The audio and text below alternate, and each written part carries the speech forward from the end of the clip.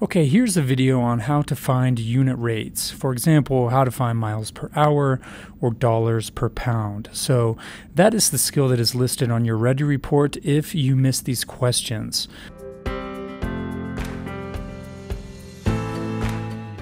So let's go ahead and dive in here. First, what does per mean?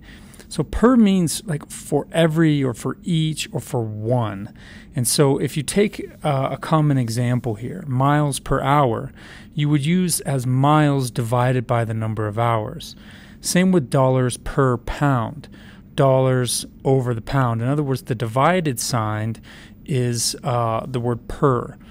And hopefully you recognize this as in like percent. Percent is uh, per 100. Okay, when you do percent, it's per 100. Okay, so some number out of 100, you're scaling it out of 100, where here you're scaling it to one pound or one hour. Okay, we'll come back to percents in a minute.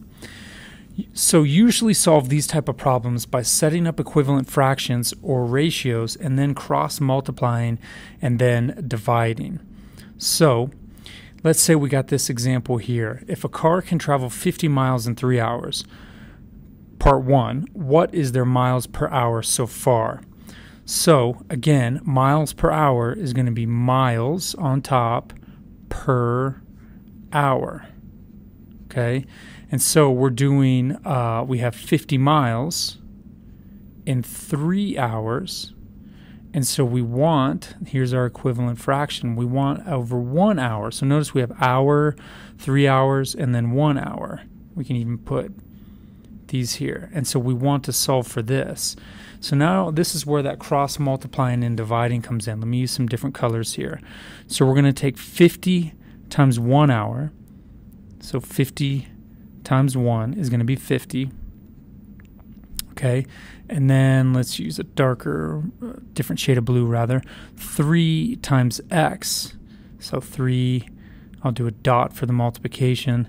So then that will equal 3x. And so there we've cross multiplied. Now we divide to isolate x here. So we're going to divide each side by 3 to undo that multiplication. These cancel out. And x is equal to 50 divided by 3 so let's come over here to the calculator. 50 divided by 3 is roughly, you could round up to about 17 or 16.7. Uh, okay, so how long would it take them to travel 175 miles? So again, I would do the same thing miles over hours. And so if this is for one hour, there's a couple ways of doing it. This is how I would do it. Um, I would take this 50 for three.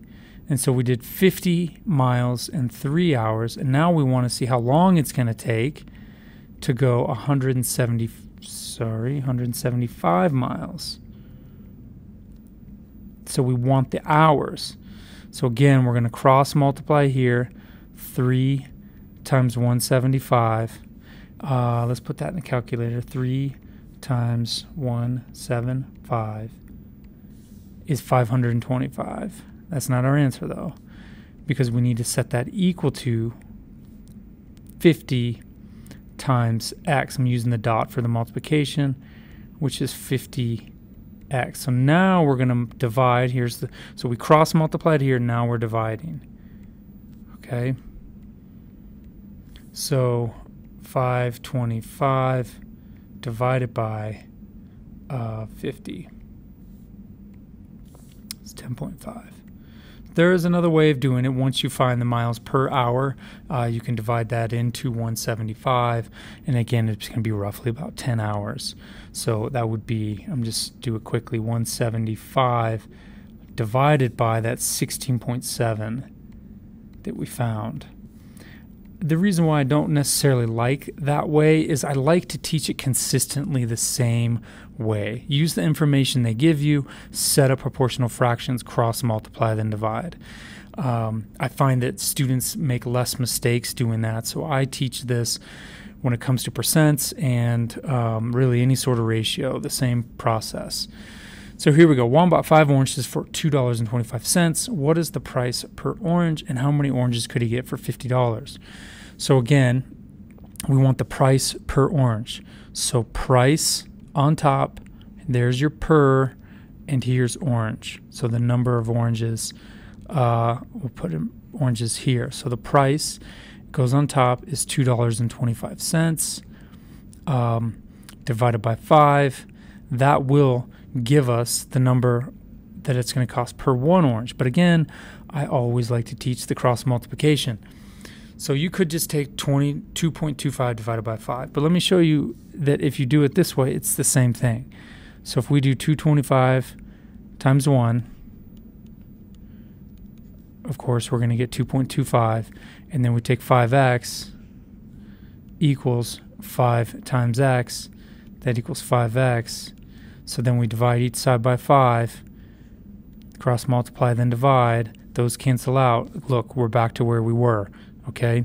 So um, it might seem redundant, and why would you do, spend do all that extra work? It's because you want to get used to the process. So we're looking at 45 cents um, per orange. Let me write that two different ways because I see this sometimes 45 cents or 0.45 cents if it's in dollars. Okay. All right. So now, how many oranges could you get for $50? Again, I'm going to set it up as cross multiplying. I'm going to do the price over the number of oranges. And I'm going to use what they first gave us 2.25 over 5 and we want to see well how much could you buy for $50 it's going to be a lot of oranges. Let's see. So that becomes x. We want the number of oranges so look everything is in line here. Oranges 5 before and how many if we scale that up to $50 so using a different color black we'll do 2.25 times x to give us 2.25 times x, which is going to be 2.25x, and then 5 times 50. 5 times 50 is going to be 250. You can put it in a calculator if you need to. Um, 250. Oh, pin does that sometimes when I go back and forth. So there's 250. So now, again, we want to isolate x, so we're going to divide by what's being multiplied by x, which is $2.25. So we're going to divide that in $2.25 into 250. So 250, 250 divided by 2.25 equals, that's a roughly uh, we would have enough for 111 oranges. We can't round up. Um, so again, that is kind of you know we're sort of diving into ratios here, but a unit rate is is uh, is a ratio. So um, there also can be used for percentages. So use cross multiply and divide to to solve percentage problems as well. So let's say a couple drives 35 miles out of the 170 mile trip. What percentage have they completed out of their trip? I just like to show this to show the similarity of why I teach it this way. So again, um, in this case, we have the part. This is just a basic definition of a fraction. Part over the whole or the total. Okay? That's your basic definition. In this case, this 35 is the part of the trip. And so the part is 35. The total up here is 170. And so now we want it out of a percent. Well, we always have to bring 100% to the problem. 100% is the whole or the total. And so now we want to see what percentage 35 out of 170 is. Okay, assuming um, I can show you a couple different ways to do this with the calculator. So let me switch to red. Okay, so we'll do 35 times 100. 35 times 100, and then we'll do 170 times x. 170 times x. 35 times 100 is just 35, and then add the two zeros for 3,500 equals 170x. So now this x is being multiplied by 170, so we have to undo that. we divide by 170, divide by 170. Those cancel out. So let's take 3,500 divided by 170 equals uh, roughly 20, we'll round up to 20, 21%. Okay. The other way you could do it is you can, let me clear this over here on the calculator. If you can use the calculator, hit the N over D button, and you could do 35 and then arrow down over 170, um, arrow over, and then hit enter. And it will give you, in this case, it reduces it to a fraction. But let's say again, we want that percentage. We can do second convert to percent right here. You see where my cursor is uh, circling? That's the convert to percent. So now we're converting 7 and th 7 over 34. And sure enough, we get the same answer. Okay, let's dive in. So slope is also a constant rate of something. Um, it can be used to find a unit rate. So, you know, let's say this is miles. say we're walking or something because uh, we're going quite a bit slower here. Miles per hour over here, right? Slope is the change in um, y over the change in x. In other words, it's the rise over the run, right? So if this is 0, 0, and we go up um, to here, we go up 6. So we're going to go rise six, you know, one, two, three, four, five, six until we're in line. And then we're going to have to go over one, two, three, four, five, six, seven, eight. So that can be reduced to three fourths, which, if we want, is going to be 0.75 miles per hour, which is kind of a slow walk. Okay, so that is another way of finding um, a unit rate that I see on the GED. So there's a good place to practice all of these. So on my website, passtheged.org, you can go and, and I've linked all the Khan Academy exercises.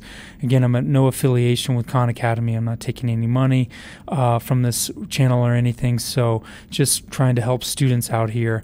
So you can go to um, the uh, again my website and then find unit rates and then these link here to different Khan Academy um, exercises to help you. All right, good luck on the GED. I hope you enjoyed this video. Please like this video if you found it valuable and subscribe if you would like to see more videos like these. Visit the link below to passtheged.org to see more videos and learning opportunities that will help you get the highest passing score on the GED. And good luck.